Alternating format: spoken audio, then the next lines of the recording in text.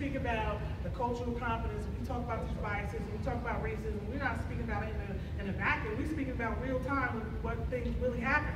When you show up to the doctor's office and you get brushed off. You know that. So this is real things that we're, that we're talking about. Just like black men, you have the highest rate of prostate cancer in death. You guys know that? You get the prostate check in? Yeah. And you had it checked. Yes. If Thank